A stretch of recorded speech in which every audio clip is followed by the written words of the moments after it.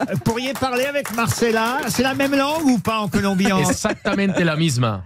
C'est la même, hein? La misma, La claro. misma. C'est juste qu'un accent un peu différent, tu vois.